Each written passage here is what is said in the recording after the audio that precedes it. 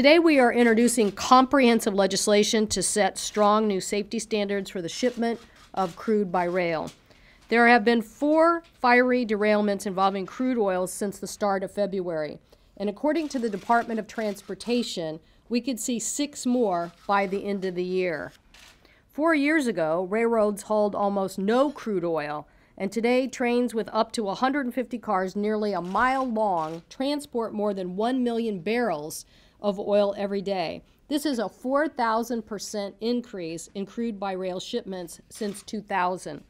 And these trains travel through nearly every state in the continental United States.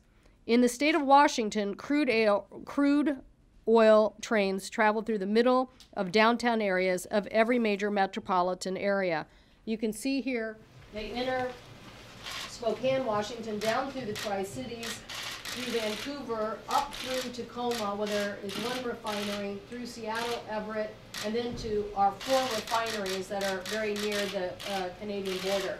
So every major metropolitan area of our state, and I mean the downtown sections of our state, see these trains. So in the next several years, what we currently have now is two trains a day. In the next several years, that is expected to rise to 16 trains a day. So, needless to say, the issue of volatility is a very big issue for us. We have seen how volatility in these accidents in Canada cost 47 people their lives, and how explosions can affect an area as large as a uh, one half mile, I mean, a half mile radius. This legislation that we're introducing today does three things. One, it ensures that oil volatility is monitored and regulated and that two, old tank cars are taken off the tracks and replaced with safer, newer models, and three, that rail infrastructure is properly maintained. Taxpayers should not be on the hook to bail out communities after a disaster caused by private companies. The railroad involved in the tragic accident in Quebec only had 25 million in liability insurance. Cleanup from disasters and rebuilding will cost hundreds of millions of dollars.